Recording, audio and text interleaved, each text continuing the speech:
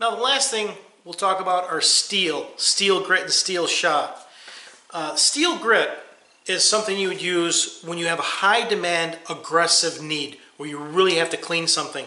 This is something you're going to use on steel or other foundry metals when you're trying to clean them rapidly.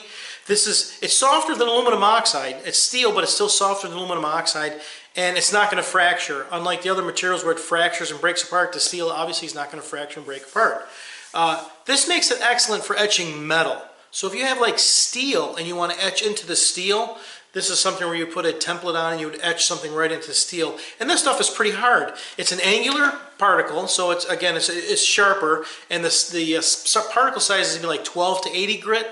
The, the other thing is about, since it's metal, it has a Rockwell hardness, and on the Rockwell C scale, it's about 40 to 65 Rockwell hardness. So it's a pretty hard material. And you're going to use this for very aggressive blasting. I've used it before uh, to blast production parts. So you might have a giant blaster where you're putting this metal in and you're blasting a lot of parts at once, trying to clean them and make sure they're ready for uh, some kind of surface preparation. I've never used them in a, in a setting for a shop setting, but if you do have the need for a large uh, blasting surface and you want to do it high demand, a lot of parts, uh, steel grit is the thing you want to use.